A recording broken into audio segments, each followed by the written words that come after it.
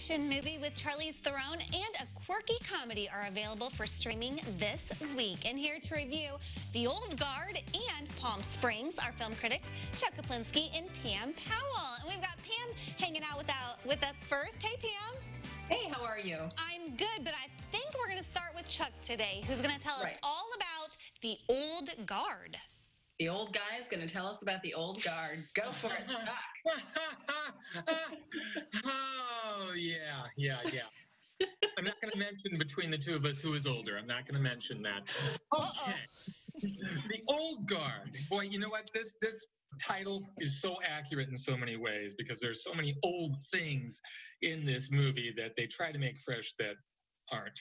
Uh, Charlize Theron stars as Andy, and of course, you know you're off to a bad start when you have a woman with a man's name because they're going out of their way to try and be cutesy, quirky, whatever. She's the leader of this uh, band of uh, mercenary people, and uh, you know they go around and they rescue people and they get shot and all that good stuff. I swear, as I was watching this, I was thinking I've seen this movie recently with uh, Chris Hemsworth, Extraction, another Netflix film, very similar at least for the first 20 minutes. The trick here, though, is that Charlize and her buddies, three guys, the old guard, they are eternal. They can be killed again and again and again, but they just keep coming back. And this gets the attention of a mysterious kind of corporation who wants to then capture them and study their genes. They think that perhaps they can help, uh, by studying their genes, help cure, cure certain uh, diseases, perhaps even make us eternal, help us heal quicker. That at least is the theory behind this. And wouldn't you know it, there's also a new one.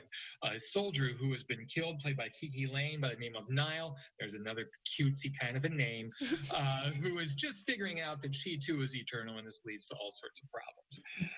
And, you know, I watched this movie, and there's some interesting ideas here. This whole notion of uh, giving uh, to help future generations. This whole notion of studying genes and things like that. That science fiction stuff is good. This action stuff that they do, though, is so, so tired. I am so tired of gun battles and fist fights that don't to the story. I don't mind if they move along, but I count at least three sequences in which the fights meant nothing. They didn't move the story along. They didn't do anything to add anything to the story. It was just so that Charlize could, you know, throw people around and be tough. And with all of her action movies, she's become a parody of herself. I can't take her seriously anymore in any of these roles.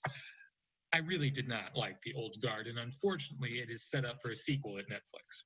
Really? Pam, are you a Charlize fan?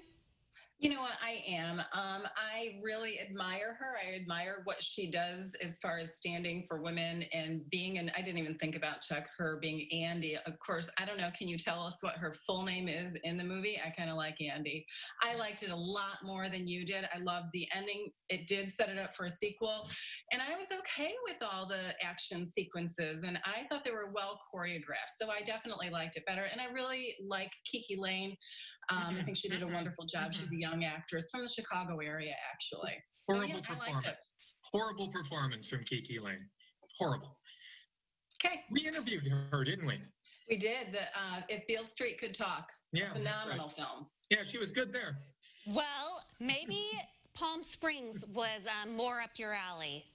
Pam, let's know, hear what I- you think. I uh, Palm Springs. I mean, if, if you enjoyed Bill Murray's Groundhog Day, you're gonna love this spin on that familiar tale. Andy Samberg plays Niles, a reluctant guest at a wedding in Palm Springs. And he has stumbled into a time loop and he is destined to repeat that same day over and over again. Imagine being at a wedding that you don't really want to be at and at a reception for eternity. Sounds like you know where.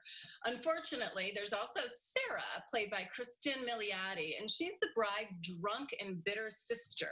And she witnesses Roy, played by J.K. Simmons, hunting Niles with a bow and arrow and killing him. she follows him into the cave where he's grasping for his life, and then that cave is where she too becomes stuck in this loop. What makes this more of a refreshing spin on what was my old favorite, Groundhog Day, is the fact that we have three characters stuck in this time loop, and they all have different baggage and they bring different things to the table. All three react differently, and all three of them grow because of their situation. And ultimately, this turns into a very charming and sweet romantic comedy. Samberg is great. He brings his signature style of humor to the film, and Milioti with him is just a wonderful and unusual force. I didn't really know much about her before this film, and I love J.K. Simmons and everything that he does, and this is no exception. And he can do a lot more than playing a bad guy or being in a dramatic film. He's funny thanks to his timing and voice. In Palm Springs, there is one loophole that I just didn't get. Chuck, you and I need to discuss that. Um, but I'm going to forgive it that because it really was a lot of fun, and you can stream that on Hulu. It was also the highest selling film from Sundance Film Festival ever by 69 cents. Hmm. Oh, by 69 cents. Interesting. Uh, Chuck, were you a fan? Yes, I did. I, I, like this a lot, and I love Andy Samberg. I love him on Brooklyn Nine Nine. This is his best performance, though. He he had to dig a little deeper. It's a bit more mature at times. Uh, I'm not sure to what what uh, loophole you're referring to, Pam. We, we are going to need to talk, but I found it very, very charming, uh, and I would definitely watch it again. Well, we need to end this segment on a high note. Right, Pam? Oh, oh, well done, well done.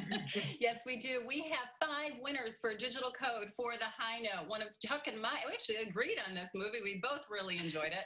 Sarah Elder, Andrea Fox, Michael Teague, Monica Roca, and Kara Day. You will receive a digital code to see the high note.